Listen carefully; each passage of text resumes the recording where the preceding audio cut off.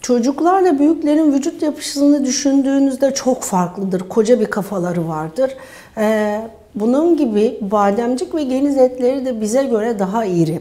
Solunum yolları biraz daha dar. Ve e, özellikle ilk 7 yılda bademcik ve geniz eti ile ilgili çok fazla problem yaşıyor çocuklar.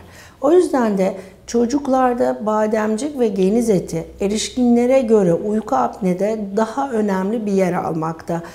Uyku apnenin e, önemli nedenlerinden biri %90'larını bile neden olmakta. Evet çocuklarda e, çok önemli bademcik ve geniz eti uyku apnede.